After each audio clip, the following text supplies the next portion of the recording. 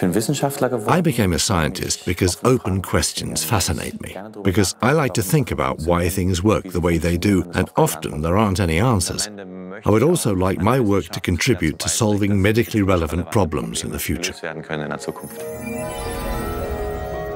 My name is Kristian Franze. I do research in the field of physical biology and work on the mechanics of the nervous system. Physical biology, a field that is currently experiencing a revolution.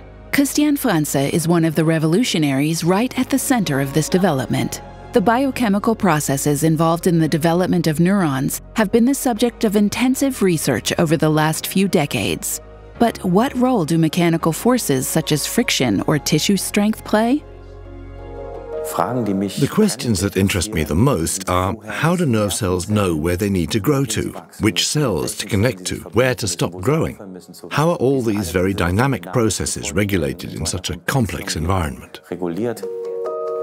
How and to where nerve cells grow is largely dependent on their environment, the surrounding nerve tissue. In the laboratory, Kristian Franze and his team are investigating how mechanical properties of brain or spinal cord tissue can be characterized. Tissue stiffness or softness has a decisive effect on how nerve cells grow. We are trying to see how neural networks develop and how they react to mechanical influences.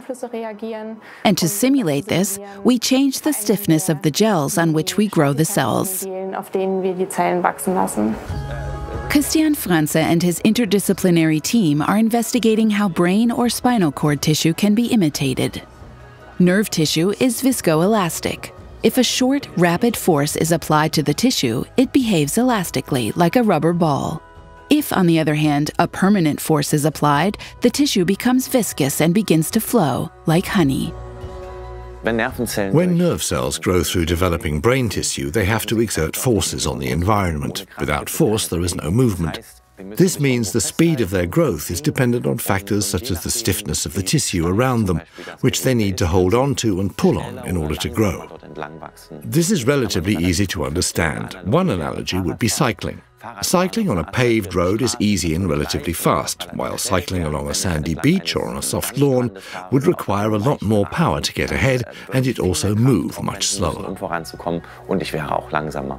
Franze and his team have investigated these mechanical interactions in the brains of clawed frog embryos. Their main focus is on the development of retinal ganglion cells, i.e., nerve cells that connect the retina with the brain. At a certain point during development, the neurons change their direction. Franze has been able to show that where the growth pattern of the axons changes, there is also a change in tissue stiffness. On the one side, the tissue becomes stiffer. The finding? Neurons grow considerably faster on stiff tissue, causing a change in direction. When we discovered a mechanical gradient at the exact spot where the axons rotate, that was a eureka moment, and we celebrated it. Controlling and stimulating neuronal growth by understanding the interaction of mechanical and chemical processes, softening or solidifying tissue, stopping or stimulating growth. Kristian Franze's great hope is to make a decisive contribution to research on incurable diseases such as Alzheimer's or Parkinson's by taking the mechanics of the nervous system into account. The answers to unsolved questions can only be obtained by connecting different areas of science, by crossing the boundaries between physics, chemistry, and biology. Cambridge has been the home of Kristian Franze and his family for over 10 years. But their family is looking forward to a new chapter and a new home. Erlangen. Here at the Friedrich Alexander University, Kristian Franze will take up his Humboldt professorship. I know that the medical research here is fantastic. This university is ready for interdisciplinary sciences. The biologists, medics, and physicists are ready to sit down and discuss how best to tackle medically relevant problems. The goal? To find new collaborations and to expand upon established research axes. Together with Stefanie Kürten, professor of anatomy and cell biology, Kristian Franze has already done research on diseases such as multiple sclerosis.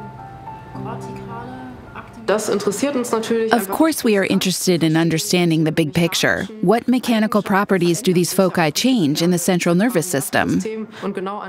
And this is exactly where Kristian would come into play, so that we can understand how tissue properties and cells come together to form a disease. And I think this is such a perfect interface between the two research groups. Bringing basic research and medical application closer together.